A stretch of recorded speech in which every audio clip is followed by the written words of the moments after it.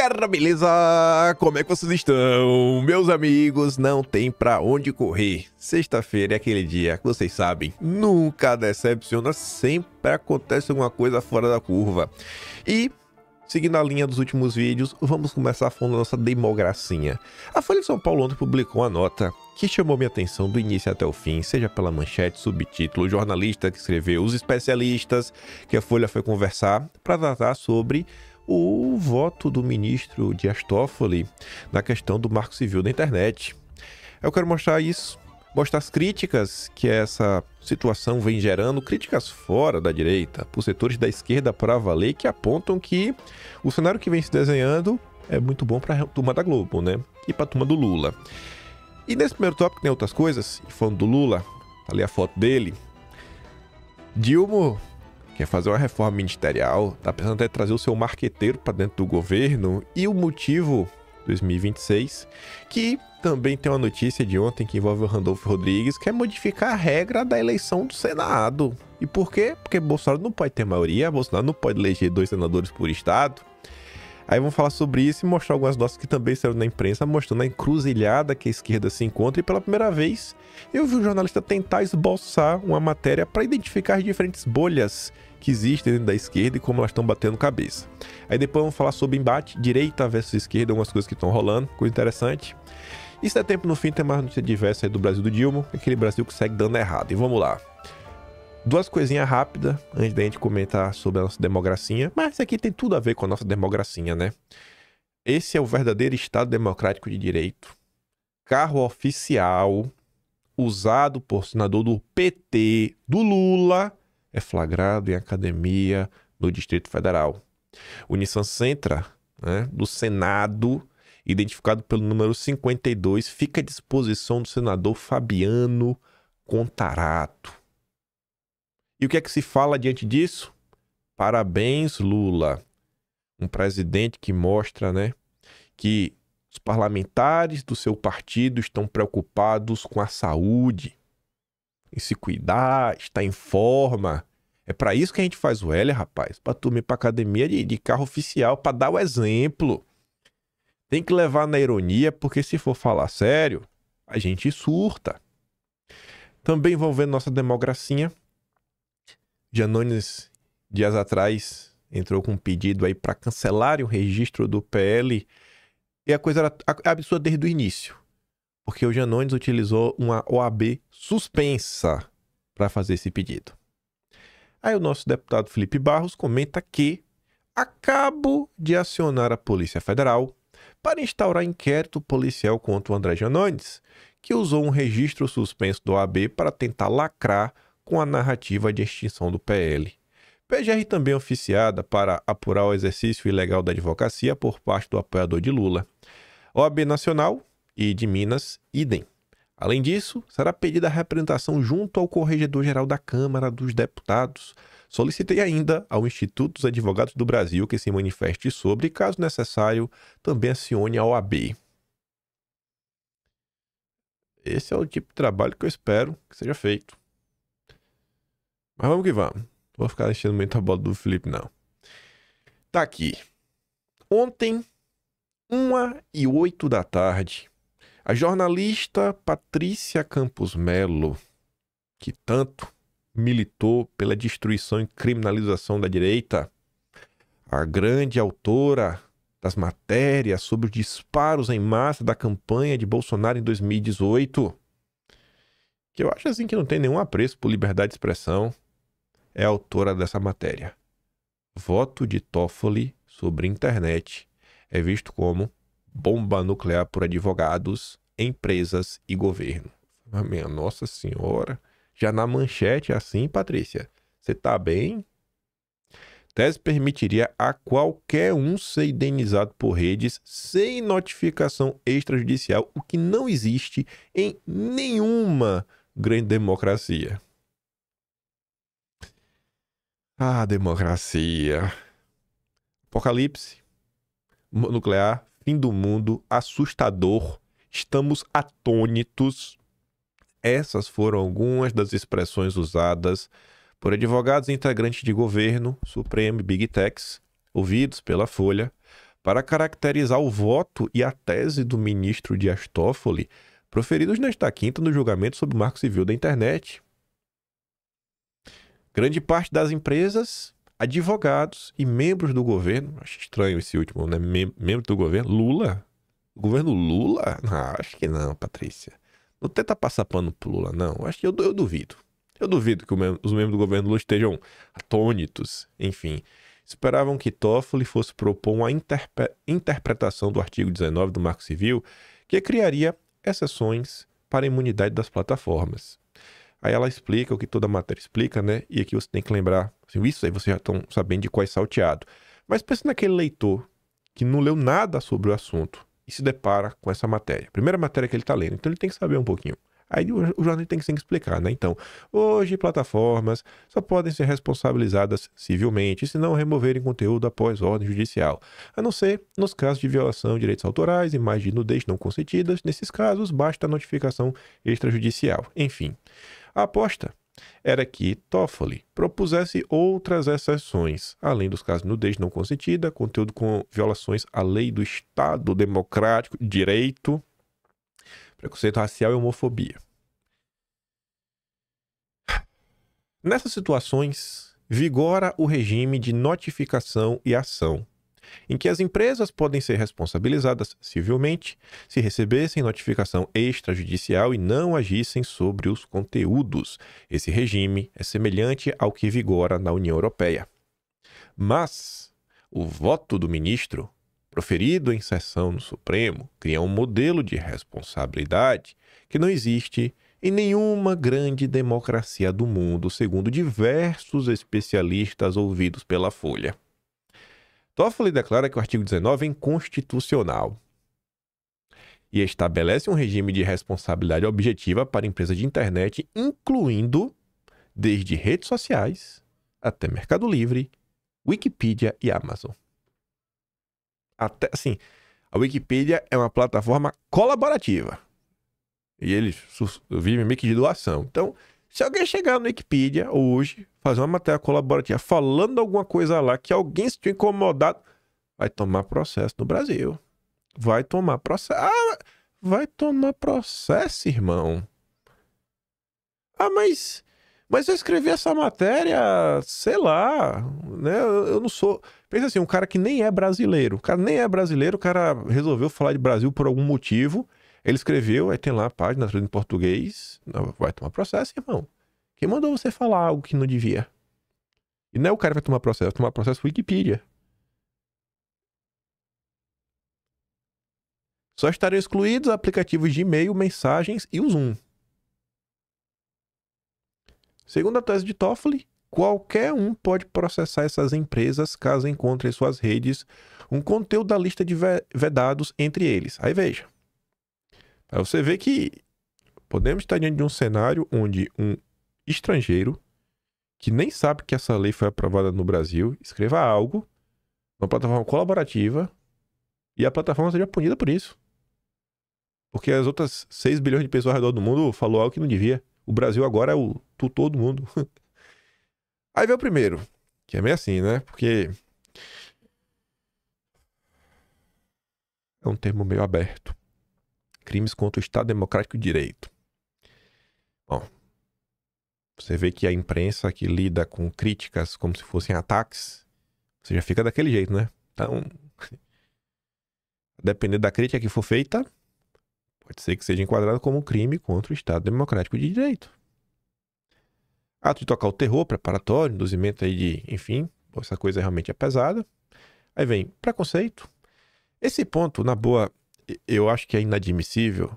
Só que ao mesmo tempo, esses dias estava viralizando um vídeo é, na internet que o cara inventou que ele foi alvo de preconceito de pele por um, por um motorista de Uber. Então é o cara do tiozinho, o cara tinha um gente boa, sabe que tiozinho trabalhador. A sorte do tiozinho trabalhador do Uber é que ele tinha uma câmera dentro do carro. Ele estava se filmando e filmando o cara que tava que ele estava carregando. E assim, o tiozinho não fez nada, o tiozinho tava parado assim, gente. Do nada o cara pega o celular, começa a se filmar, meu Deus, meu Deus, tô sendo atacado. Ah!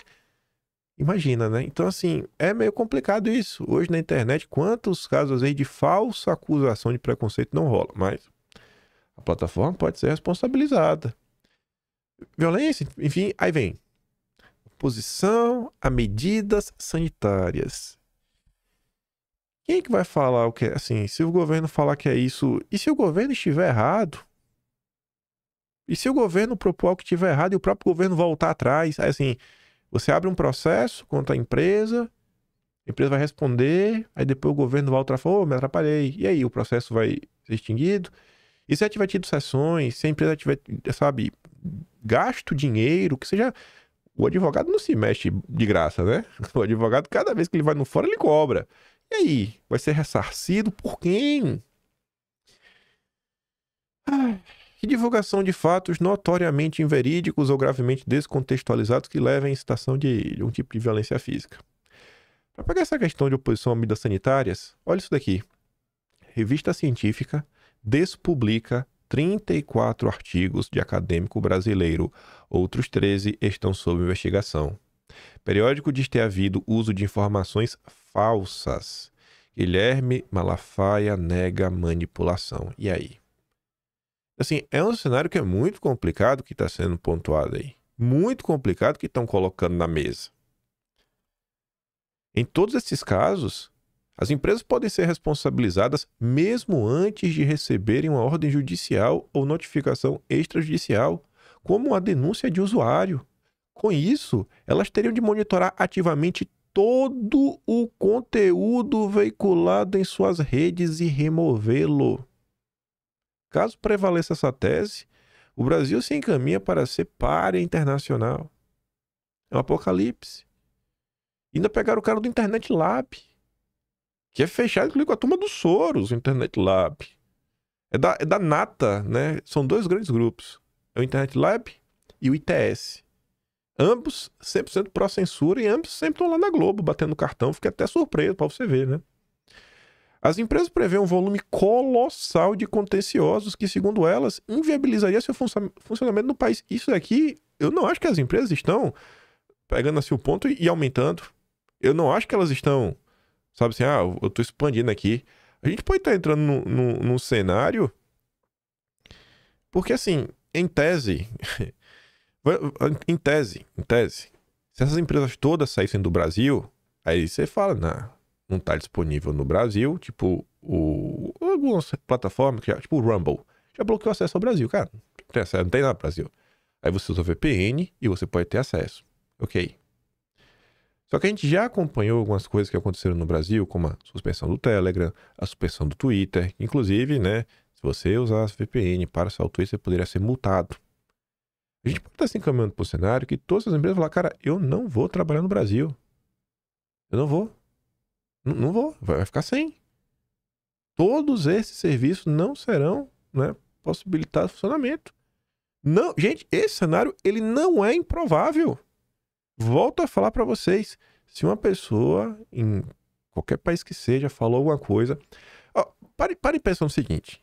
Quando teve o caso agora do Twitter, do Elon Musk, teve um grupo que processou o Twitter, pedindo lá um pagamento bilionário o mesmo grupo que, inclusive, processou o Banco do Brasil, utilizando a questão da, da dívida histórica para o Banco do Brasil pagar trilhão. Imagina que tem um conteúdo na internet que o cara acha que pode ter alguma relação com. Vocês estão falando mal do Brasil, estão falando isso aqui, vocês estão falando mal desse grupo minoritário, né? Essa... Eles adoram isso daí, essas causas coletivas.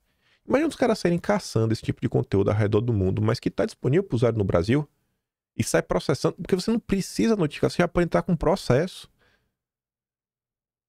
Já imaginou isso? E começar a chover processo todo todo mundo olhar começar a judicializa, judicializa, judicializa, judicializa. Meu amigo, vai falar, irmão, não vale a pena, é perda de dinheiro, vou fechar as portas. E o Brasil entra num cenário que eu não sei nem se, sei lá, talvez seria, não sei nem se nem Cuba seria assim. sei lá, um estado de Coreia do Norte, que o povo nem internet tem. Você usa a internet pra quê? Não sei. E tudo você pode ser responsabilizado. Você pode usar a internet pra assistir a ler o site da Globo. Você pode assinar a Globo e ficar lendo as notícias da Globo. Além da longa lista de tipos de conteúdos que teriam de ser filtrados pelas plataformas, A tese de Toffoli também prevê responsabilidade objetiva sobre conteúdo recomendado, impulsionado de forma remunerada ou não, ou moderado. O problema é que, em última instância, qualquer conteúdo pode ser considerado recomendado. Resultados da busca do Google, por exemplo. Diz o cara no Internet Lab. Pô, eu botei uma pesquisa. Esse site é ofensivo. Ih, rapaz, esse site. É, vamos processar. E aí? Vou te dar um cenário. Vem um artista famoso, faz alguma coisa. Aí ele quer que as notícias dele não fiquem. Lembra, lembra que ele não teve um caso uma vez de uma pessoa muito famosa na praia que fez uma coisinha e pediu para tirar o vídeo dela do ar? Que envolvia até um jogador de futebol também. Ela na época não processou a empresa para tirar todos os vídeos do ar e tá, ela pode entrar. Colocou lá no Google, o nome apareceu. Não, não quer que esse conteúdo exista. E aí o processo é direto. Direto. Enfim, né? Diz Cruz que defende responsabilização por publicações impulsionadas mediante pagamento e anúncios pagos, mas não sobre conteúdo recomendado. E até impulsionamento mediante pagamento você entende, né? Porque se você. Se o cara, por exemplo, tá pegando a tua plataforma para divulgar uma coisa que é uma, uma fraude, um golpe, e ele tá te pagando para isso, pô, aí, aí, aí tá de brincadeira. Aí realmente você tem que ser responsabilidade, tem que ter um, uma checagem mínima. Uma das preocupações né, além dessas, que já são muitas, foi a aparente concordância do Flávio Dino e do outro lá, com a tese, em suas intervenções na quinta-feira. Mas outros ministros se movimentam nos bastidores para chegar a uma saída mais alinhada a tendências no mundo, segundo apurou a Folha eu, eu tenho que torcer. A gente tá aqui numa praia de fé. Nesse momento, eu estou torcendo por esses ministros. Eu não sei quem eles são, a Folha não revelou, mas eu estou torcendo por eles. Ministros haviam tentado dissuadir Toffoli de proferir um voto considerado tão extremo no sentido da responsabilização, mas não obtiveram sucesso. Por favor, ministros, botem a mão na consciência. O deputado federal Orlando Silva, que foi relator do prédio das fake news, disse que o voto de Toffoli se situa no limite entre remédio e veneno, porque o diagnóstico é certo, mas a dose precisa ser bem medida. É mais razoável elencar os temas sensíveis para obrigação de moderação, porque a lei em que tudo cabe ou não cabe nada, é a porta aberta para o inferno. Nem o Orlando Silva tancou essa decisão. Usar a palavra do momento, né? A gíria intancável. Roberto Freire, ex-presidente do Cidadania, milita na esquerda desde os idos de 1960, 70, tá ali, ó. O voto do relator, ministro Dias Toffoli, é um mal escrito libelo ao arbítrio e totalmente destinado e apropriado para um regime ditatorial. E que fique claro, não para uma ditadura qualquer. Um texto virulento, e atentatório às liberdades democráticas.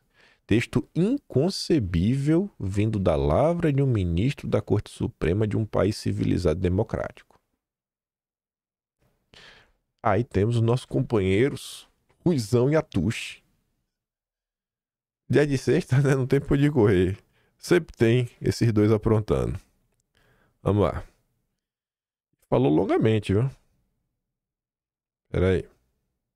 Se liga. Mas vamos falar da liberdade de expressão antes disso, Luiz, que eu acho que é um tema que é necessário. É, bom, começou, né, houve o, o voto lá do, do Toffoli delimitando os pontos em que as plataformas seriam responsáveis pelo conteúdo. O Jornal do Estado de São Paulo hoje fala que a censura paira sobre o Brasil. A Folha de São Paulo também é contra essa regulação. A Globo é muito a favor, né? é importante dizer isso, que a Globo é muito a favor desse projeto. Mas talvez, vamos dizer assim, o resultado do Supremo seja uma coisa mais modulada. Como você vê? Como é que você está vendo essa, o fim do artigo 19 do Marco Civil da Internet? É um ataque frontal à liberdade de expressão, né? Sobre isso aí não pode pairar absolutamente nenhuma dúvida. Como você falou, né? Dada a falta de consenso em torno desse problema, é possível que a resolução ela saia meio que, né, é, uma bola prensada, não seja um chute direto a gol. Mas até o momento é um ataque muito duro contra as liberdades democráticas no Brasil. Como é que você explicaria isso de uma maneira didática para as pessoas? Eu já tentei explicar umas 50 vezes, algumas pessoas entendem, mas muita gente não entende. Oi. É, tem gente que não quer entender o que está acontecendo. Né?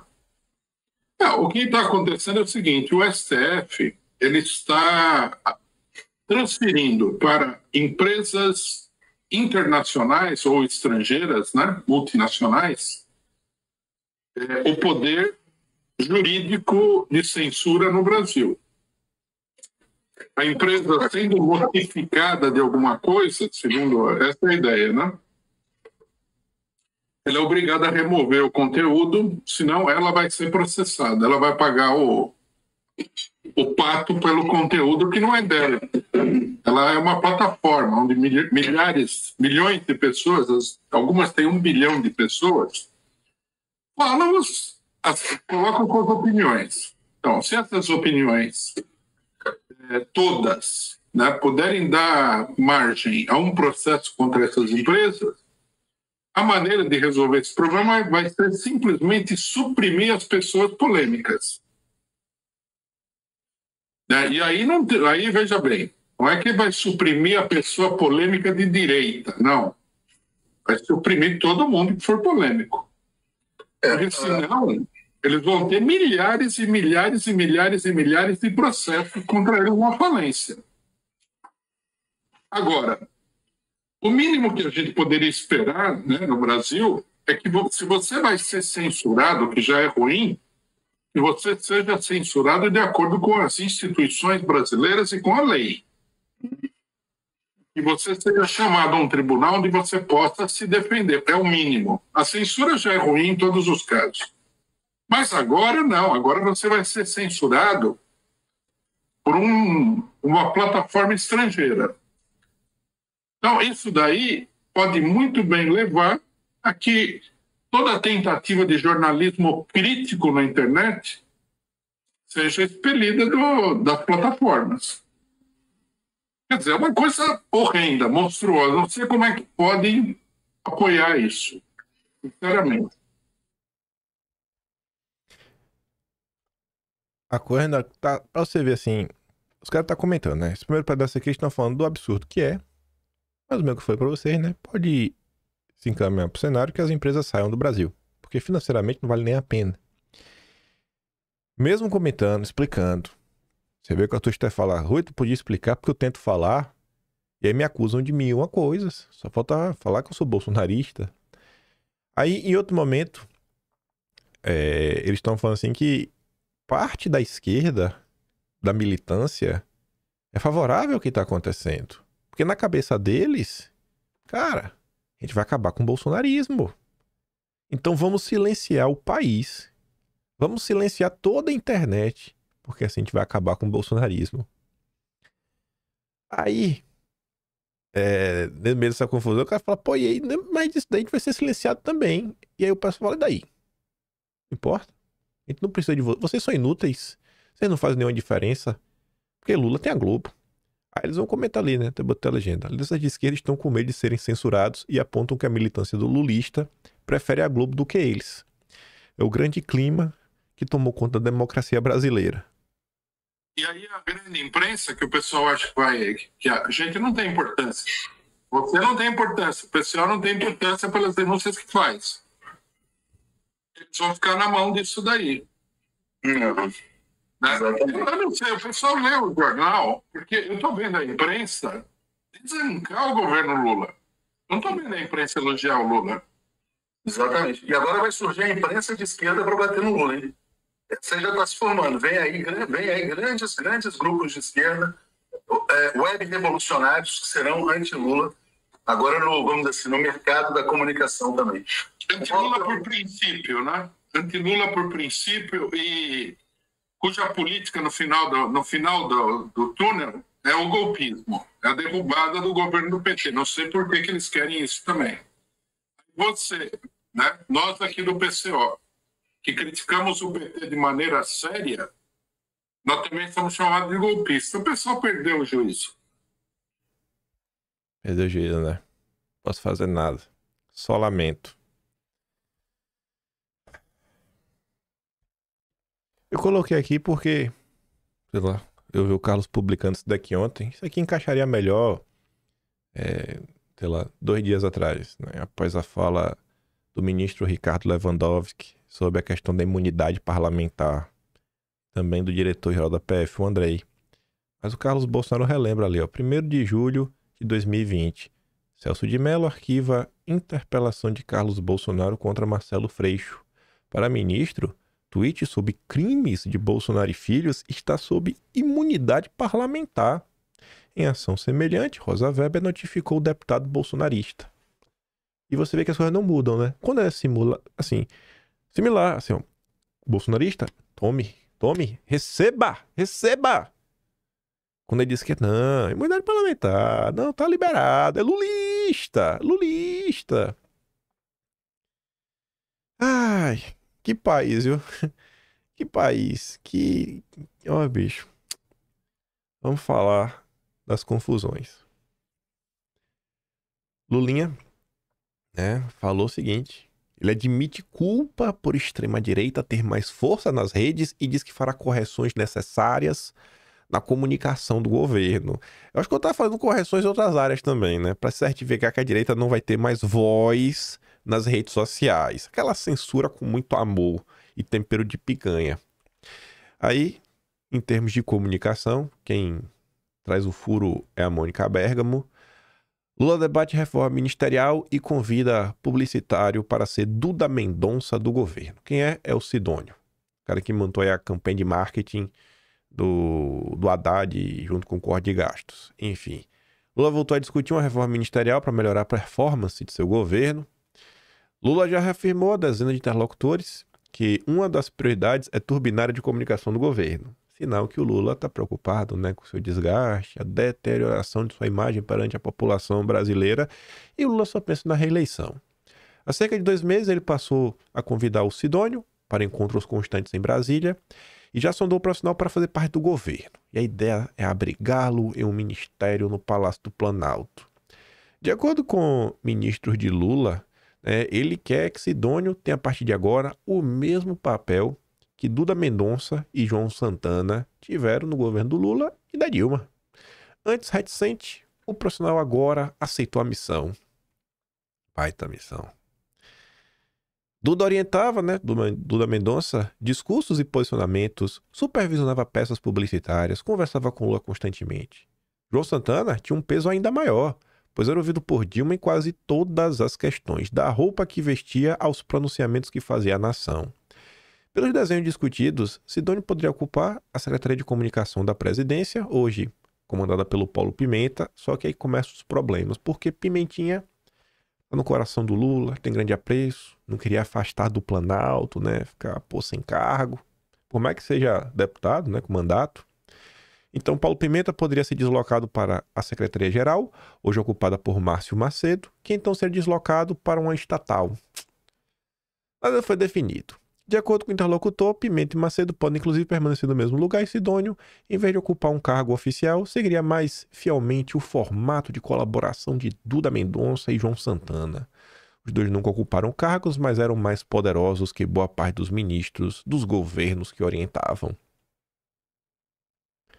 Nossa, a natureza que eles comentam disso, né? Nossa senhora. Tu já pensou? Bolsonaro traz publicitário pro seu governo, fala comunicação, tá? O que é que precisa falar, né? A matéria, Bolsonaro desiste de governar e começa a instrumentalizar o governo buscando a sua reeleição. Preocupado com desgaste perante o povo, Bolsonaro traz publicitário para começar a utilizar da propaganda do marketing para enganar mentes. E essa é aquela ladainha chata. Mas o, o Lula, Lula pode. Lula, Lula, Lula pode tudo. Pode tudo. Tudo. Líder do governo na Câmara cobra aproximação do PT com o Centrão. Todas as estratégias para se manter né, no poder. Aí o José Guimarães reiterou a necessidade de defender o governo, mas também de se reconectar com a militância e atrair mais aliados em um congresso hostil ao Lula 3 Guimarães destacou a dificuldade para se aprovar mesmo a urgência na Câmara da votação do pacote que corta gastos do governo. Temos que fazer um balanço, porque eu penso que a principal tarefa não é só defender o governo, porque isso nós fazemos de sobra. Ontem, quase que não conseguia falar com o Rui Costa, o ministro da Casa Civil. Nós ganhamos a votação por três votos. Três votos o Brasil está sofrendo. Disse deputado durante a abertura do Seminário Nacional do PT em Brasília. José Guimarães diz que para conseguir reeleger Lula, o partido vai precisar se reorganizar em todo o país. Não acabou nem o segundo ano e o foco do PT já é eleição de 26. Assim, o foco dos caras é ficar no poder. É só isso que eles pensam. Ficar no poder, ficar no poder. Vamos ficar no poder. É isso que importa. E mirar né, em outra estratégia. O partido tem que se reorganizar. Para isso, definiu atrair mais aliados do Centrão e assim melhorar a articulação política do governo. Eu diria que nós temos dois desafios nesse momento histórico que o PT está vivendo. Primeiro, conectar o PT com esse país, com essa militância.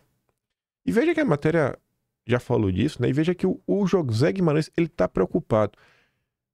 Se o PT não tivesse com problemas em sua própria base, será que o José Guimarães já está falando isso? Precisamos nos conectar com a nossa militância.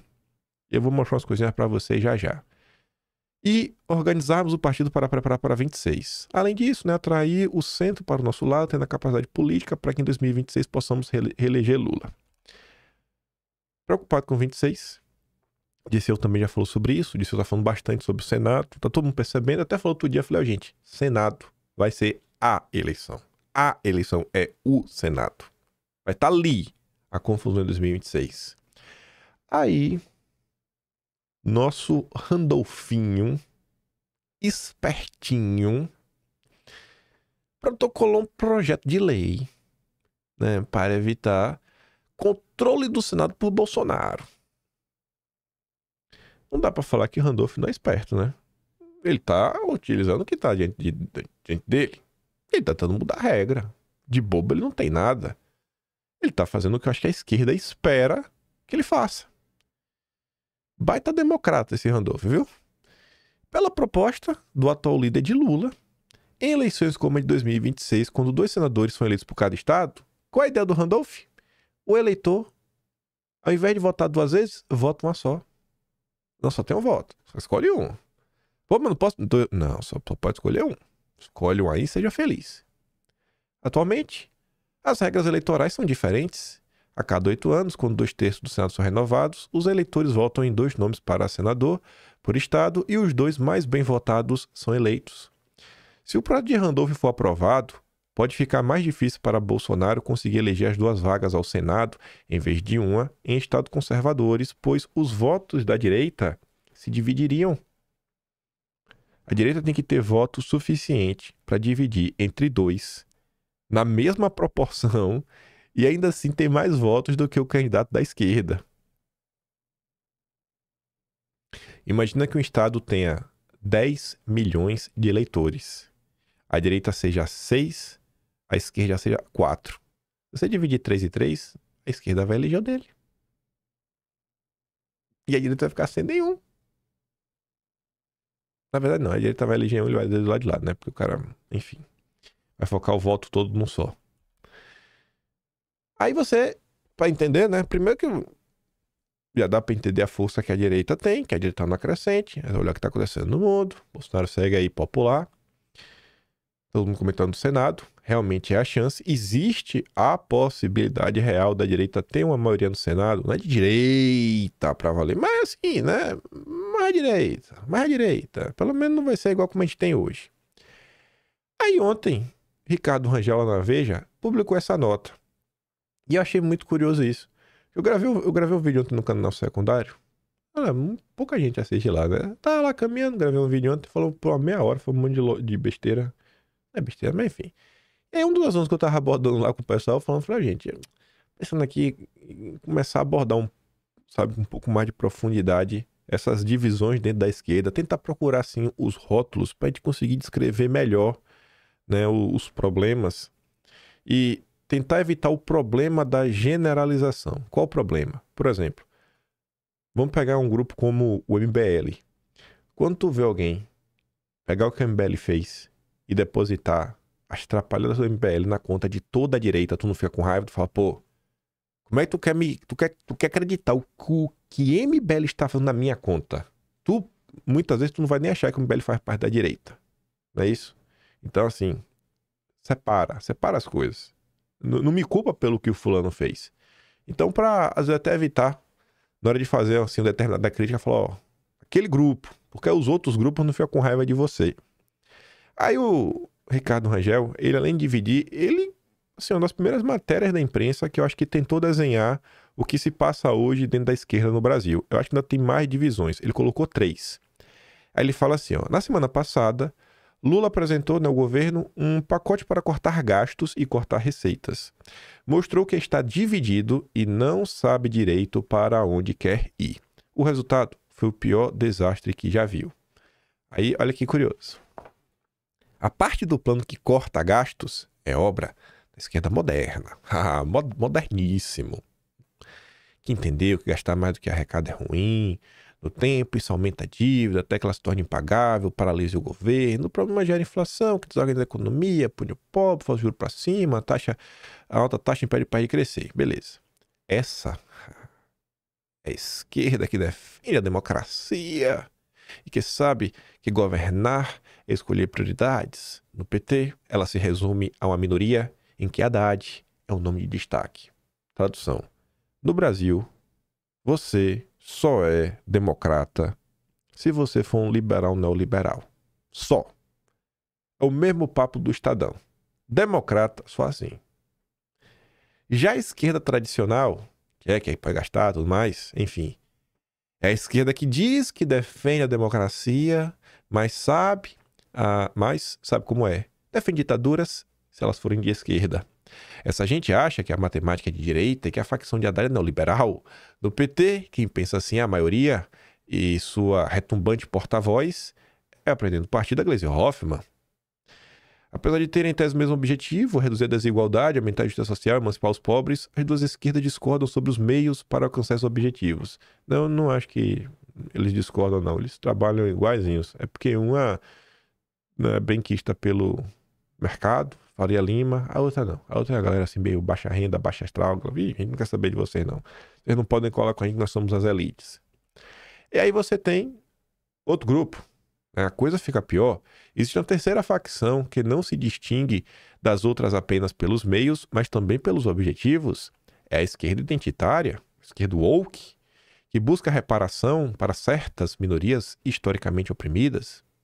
Seus métodos são cancelamento, patrulhamento, censura, humilhação, interdição do debate, né? Eventualmente, deputados brigam até entre si, como vimos no conflito Aniele versus Silvio Almeida. É a esquerda que diz que defende a democracia, mas se vale de métodos profundamente antidemocráticos e, no fundo, acha que a democracia é uma empulhação para manter as minorias para serem para sempre oprimidas. Ela não se interessa por economia, nem pela gestão do Estado, nem sequer por ganhar eleição. Parece querer apenas ter razão, ganhar uma batalha cultural ou achar que ganhou. Essa fragmentação na esquerda não é nova, mas a vitória de Lula, que precisou abarcar as três facções em seu governo, escancarou as contradições, aprofundou né, a hostilidade entre as correntes. E os embates estão aí na rede social. Jones, Cupero Jones, Cooperatu estão brigando entre si todo santo dia. Tô até com pena, rapaz. Aí, só para colocar em xeque o que ele falou sobre a Glaze Hoffman, Glaze. Glaze da democracia, Ricardo Rangel. 6 de dezembro de 2024. O que é que se tornou o PT?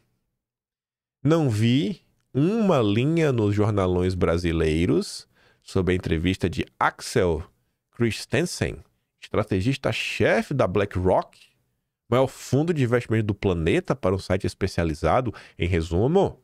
A BlackRock, né, ele diz que o Brasil continua muito atrativo para investimentos. Pronto, a Glaze. A Glaze Hoffman defende a BlackRock agora. BlackRock agora é aliado do PT. Aliado do PT. É, Black, grande BlackRock. Herói do povo brasileiro. Coloca agora a Glaze, Angel, no quadro aí da, da Turma do Bem, pô. Glaze merece. Companheiro Prates deve fazer parte da ala do bem também, da, da democracia, da ala do Haddad. Demitido por Lula, Prates anuncia que trabalhará para João Dória. Ex-presidente da Petrobras vai atuar como head de energia do grupo LID. O LID tem tudo, né? LID isso, lead aquilo outro. Agora tem lead, lead energia, lead jovem. Vocês notaram que todo o alto escalão do governo, depois que sai, vai trabalhar para liberal? Aí eu tenho uma dúvida.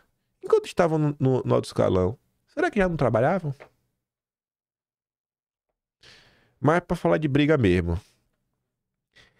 Isso aqui eu acho sensacional. E tem a ver até com as falas do Rio Costa Pimenta, do Atushi. Né? O medo que eles estão sentindo, tipo Armínio Fraga. A vida, né, é como se fosse uma roda. Aí você começa a atacar o coleguinha, a coisa vai virando, virando, virando, e aí volta pro início e te pega. Você acha? Não, eu vou apoiar a censura, a censura vai destruir a direita, e você acha que nunca vai chegar em você. A esquerda é a principal responsável por aplaudir toda a narrativa do gabinete do ódio, rapaz. Aí, o que é que está acontecendo agora? Perfis de esquerda estão sendo acusados de serem um gabinete do ódio, propagadores de fake news. Esse é o presidente do PSOL, ali embaixo, né? Juliano Medeiros, acusando o governo Lula de ter montado um gabinete do ódio contra ele a lógica que a Globo montou há 40 anos segue na cabeça do delirante e seus pares. Só o petista não pode criticar, só o petista pode ser criticado. Aí tá ali, né? Fake news, gabinete do ódio. Aí para entender por que tá esse clima, pessoas como o Tiago dos Reis, inclusive apareceram, né, nas matérias sobre o gabinete da ousadia, que foi o nome bonito que a imprensa deu, né, para a turma do PT, trabalha em prol aí da democracia ele, o Thiago dos Reis tá indo pra cima do pessoal, botando o dedo na cara, lembrando, ó, o pessoal ganhou mais de 40 milhões pra campanha do Boulos, acaba de trair e votar contra a urgência do prédio fiscal do Lula. Não é o pé do povo, né? É um prédio que pune o povo. Então, assim, o, o, nesse ponto, o pessoal falou, cara, o BPC vai prejudicar o povo. Entre o povo e o Lula fica lá do povo. Uma vez, até assim, na vez que o pessoal não embarcou no código de gasto contra o povo, foi criticado. Na hora da campanha, estão todos com foto do Lula pedindo voto, mas alguns deputados do PSOL seguem há 45 dias disseminando fake news contra Lula. É a quarta votação crucial que trai o Lula, o Lula, o Lula. Tiago, naquela divisão ali do Rangel, ele não cabe nenhuma. O Tiago faz parte, sabe da qual divisão? Do lulismo. Existe essa divisão. Tem a esquerda moderna, do bem do Haddad, tem a esquerda do mal, antidemocrática da Gleice, você tem identitária e você tem o lulista. Aqui é a pura idolatria à figura do Lula. Aí o que eu disse, né? Que briga, velho. Que briga, que briga desnecessária. Companheiros, briguem no privado. É momento de união. Vocês estão dividindo a esquerda. Vocês já viram a direita brigar em público? Por isso que a direita tomou conta das redes sociais, porque eles não brigam. Eles estão sempre reunidos em torno de Bolsonaro. Eles não aceitam críticas. Tô sendo irônico, né? Aí tá ali, né? O Jones Manuel rebatendo a Tush, dizendo: Vou desenhar, Tush. Talvez você tenha esquecido como se faz jornalismo. É plenamente válido questionar a qualidade da matéria, sua correspondência com os fatos, qualidade das fontes, mas apontar a existência de fontes sigilosas como prova de mentira não faz sentido. Aí tá ali, ó, um novo professor de jornalismo na praça, pena que talvez seja né, um afofador. Atuche, fico feliz que você mostre o mundo ao mundo que é, assim ninguém tem dúvidas. Dito isso, encerro minhas interações com você por aqui. Agora vou atrás de processar você por esse ataque até nunca mais. O clima na esquerda tá sensacional. Sensacional. Aí as brigas, né? Estou sendo cancelado. Se eu criticar o governo Lula, eu não sou aceito mais nos programas da esquerda. Tá aqui, ó. Por outro lado, aqui no da análise de conjuntura, tem um fenômeno que talvez, inclusive, seja o que mais me preocupa, que é um fenômeno de pressão e domesticação no pensamento crítico, nos intelectuais, inclusive nos acadêmicos. Hoje, no Brasil, por exemplo, o economista que se propôs a fazer uma crítica à política de austeridade do governo Lula, ele está fudido, porque ele vai ter pouquíssimos espaços. Pouquíssimos espaços para ir. Pouquíssimos espaços, percebe? É, eu não vou citar nomes agora, porque eu não vou dar arrumando desculpa para receber processo de graça, mas eu conheço o nome de uma porrada de analistas políticos, de economistas, de analistas analistas de política internacional que estão proibidos de ir em vários espaços já, percebe? Então, há um certo isolamento neste momento de quem se propõe a ser crítico, né? De quem se propõe a não achar que está tudo bem ou que a política brasileira se resume a defender o Lula contra Bolsonaro. Então, tem que ter um espaço para a galera falar, pô. Tem... É, se você critica o Lula, você não pode ir.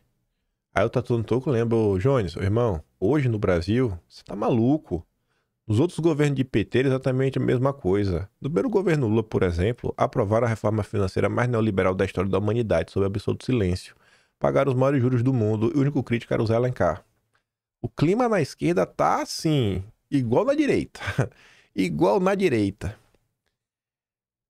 Achei curiosa essa denúncia aqui do Castanhon sugerindo o seguinte, ó.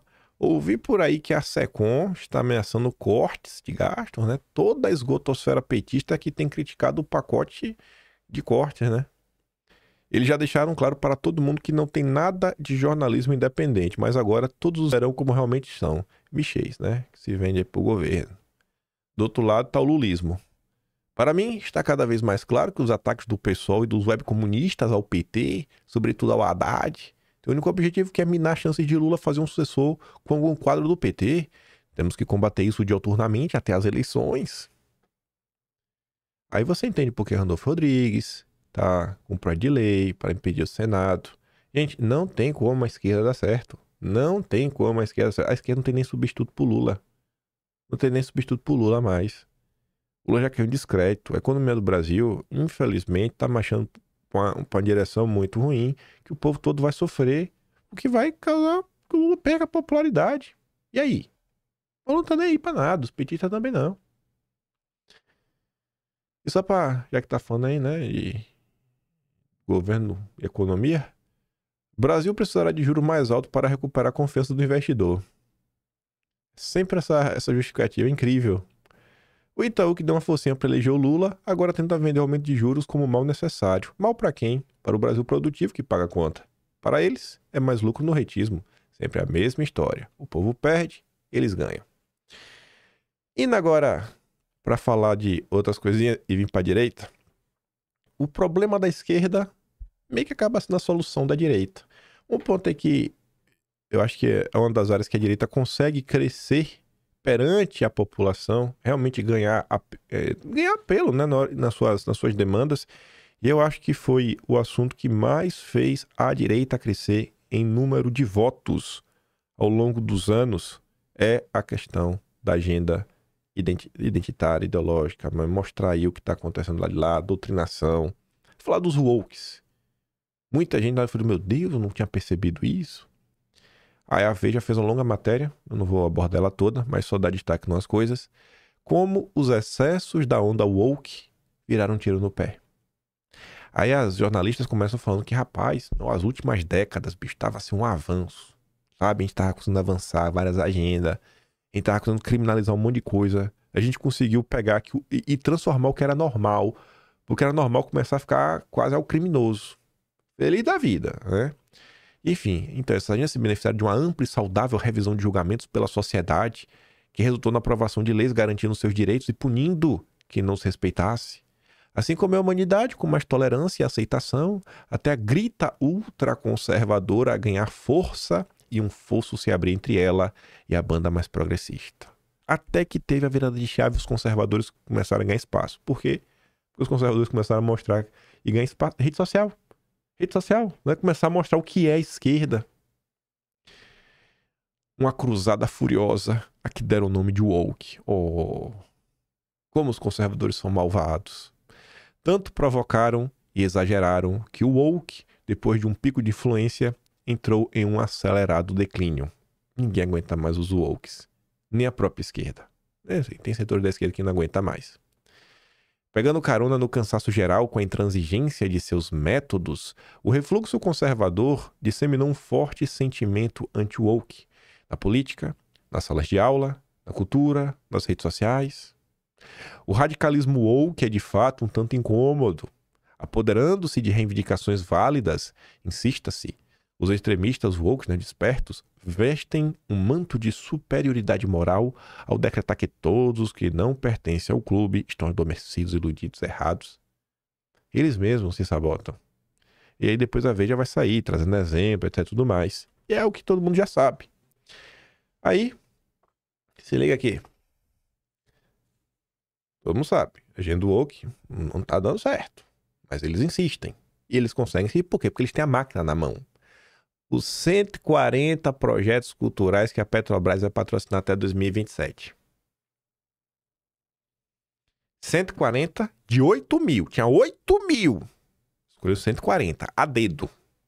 Tinha 8 mil. Mas só 140 foram escolhidos. Dos projetos selecionados, 94% possuem temáticas, realizadores ou públicos relacionados aos wokes. 94% é woke, de alguma forma.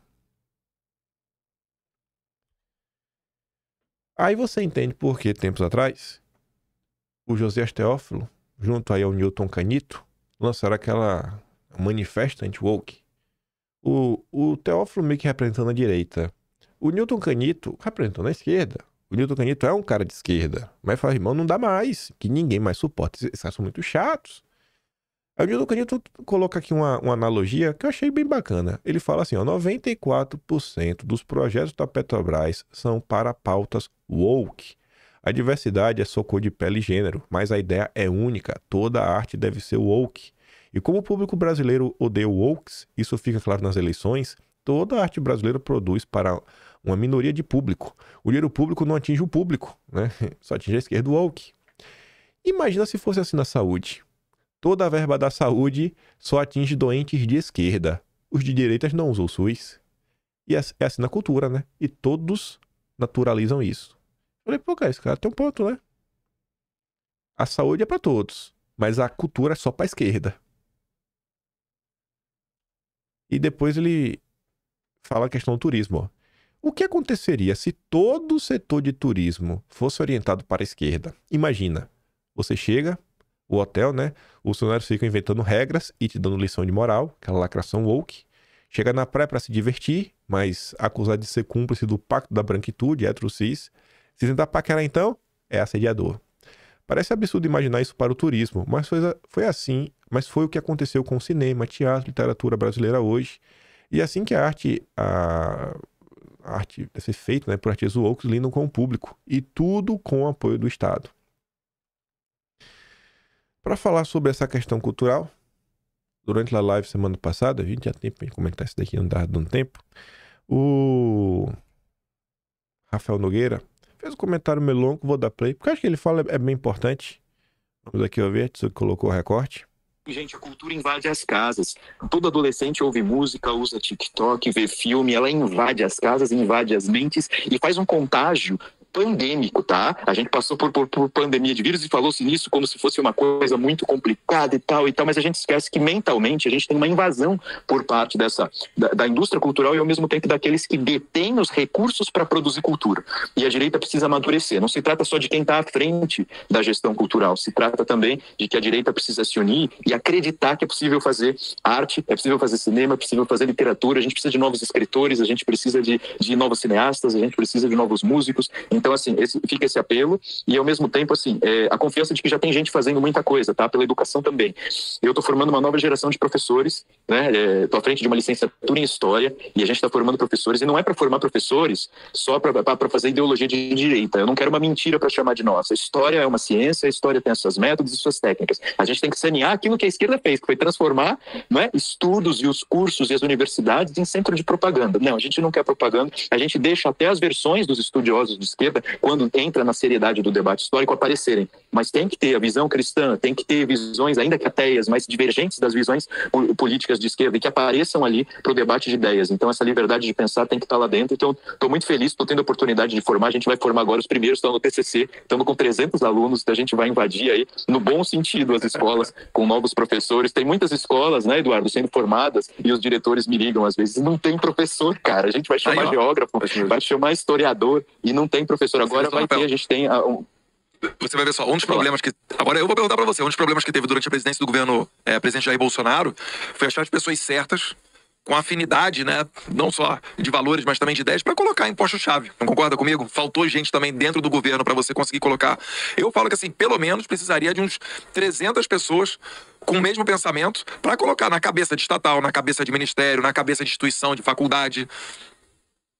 Não, concordo totalmente. Faltava quadros. E o que acontece? Era muito claro para mim também, ô Eduardo, que faltavam as pessoas com o preparo de é, entrar naquelas instituições e fazer um trabalho, aí sim, é, institucional, de sanear o, os excessos ideológicos, mas fazer um trabalho com conhecimento específico e técnico daquilo que precisava ser feito com melhor qualidade. Então faltava isso e ainda falta para a direita muito disso. Então a gente precisa reconhecer primeiro que o que o presidente fez foi, é, foi quase um milagre. Ele chegou a presidência antes de ter mais ou menos as condições, digamos, né, de, de, de estrutura até de pessoal para lhe dar sustentabilidade. Então, muitas vezes só a culpabilidade sobra para ele, mas assim, é, é, faltava quase só. É a cereja do bolo sem o bolo, como o Olavo falava. Exato.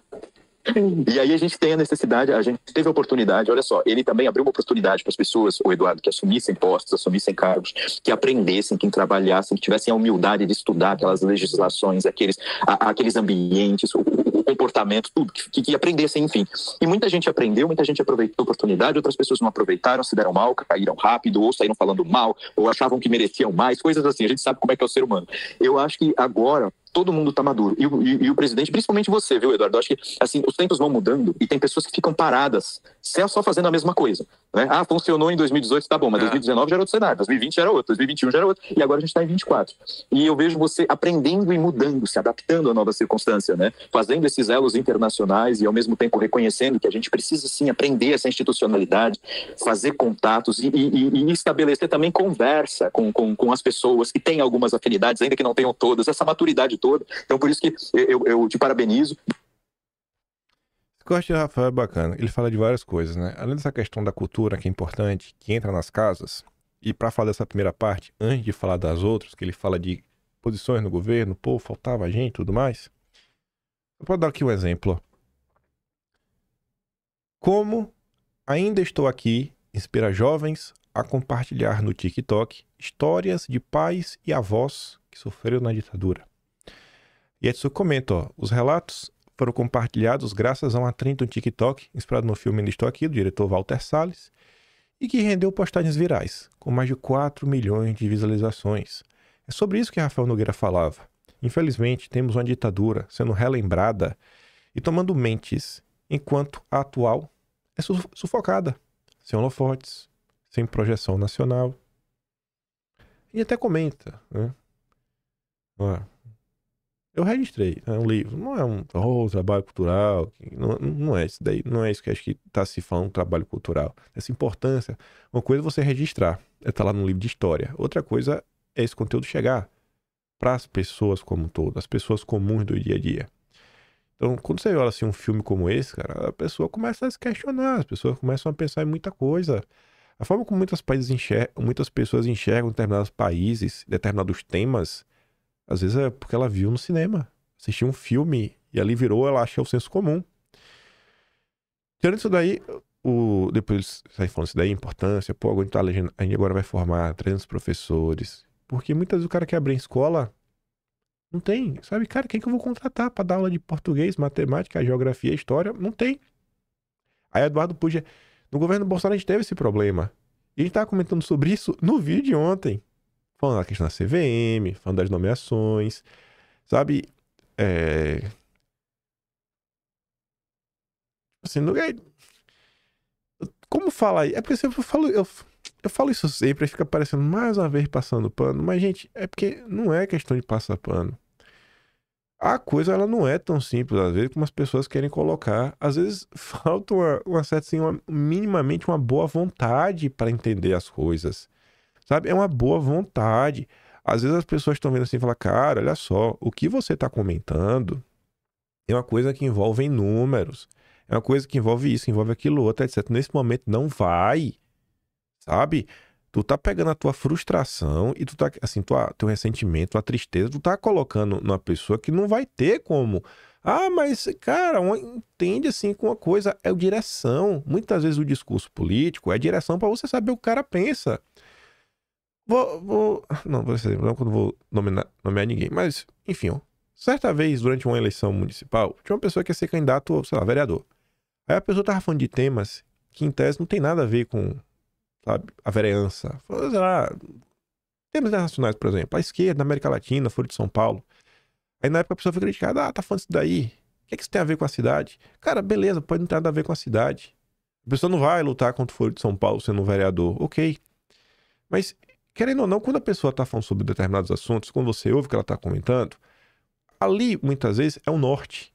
É o que essa pessoa, assim, você consegue entender. Porque, normalmente, se o cara tá reclamando sobre essa situação, Foro de São Paulo, por exemplo, né? Uma pessoa que tá contra o Foro de São Paulo, em tese, na maior parte dos casos, ela é de direita, ela não gosta do PT, ela sabe que existe uma articulação internacional. Assim, são várias coisas que vêm assim no efeito cascata pelo simples fato dela estar tá criticando aquela coisa. Se a pessoa usa a palavra, por exemplo, lá, doutrinação nas escolas, você já sabe que ela está preocupada com o conteúdo, existe uma grande possibilidade dela ser uma pessoa que é crítica do lema, dessa educação né, que a Tabata Amaral sempre prega. Então vem um arcabouço de junto, às vezes, por um termo que a pessoa usa. Aí fica todo mundo, às vezes, tentando olhar, às vezes, o passado, assim, né? Professor de obra pronta, você fala, cara, olha por esse ângulo, olha por esse ângulo aqui. Ah, mas tal coisa. Tem que passar por uma sabatina. Qual era a, Constitu... Qual era a Constituição do Senado na época? Quantos votos para tal lado, para tal lado, para tal lado? E aí no final, que aí é, é pra gente arrematar, fechar o vídeo para não ficar longo, tinha mais coisa para comentar. Depois o, o, Rafael, ele fala da importância de conseguir, né, ir se adaptando às mudanças. Aí ele fala do Eduardo, pô, veja aqui que você tá mudando, tá aprendendo sobre outras coisas. Gente, o mundo mudou. O mundo segue mudando. Diariamente temos novos desafios perante todos nós. A gente tem que estar assim num constante aprendizado. Ele não pode assim dar tudo como, ah, já sei. Já, já sei agora a vida que segue. A própria metamorfose do PT, a própria metamorfose da, da esquerda, nas suas diversas nuances, a metamorfose de tudo que está acontecendo, tem que estar tentando entender a metamorfose da própria direita, do que é ser direita hoje em determinados países. Determinado país, determinado político, vai falar, irmão, tu não é direita, tu, sei lá, liberal. Então, assim, é observar o cenário, muita coisa está acontecendo, né? E observar enquanto dá. Vai que nossa democracia sustentada pelo, pelas notícias. Na verdade, notícia vai continuar tendo, né? Mas talvez as redes sociais possam ir pro saco. Mas enfim. Por hoje é isso. Se gosta meu trabalhinho, quiser apoiar mais, passa no canal, tem um botão de valeu, tem um Patreon na descrição e tem um Atlas brasileiro, né? Kimpen.com sem BR, onde registramos tudo e muito mais. Eu fico por aqui, deixa aquele grande beijo e abraço. Tamo juntos. Valeu, galera. Até amanhã. Fui.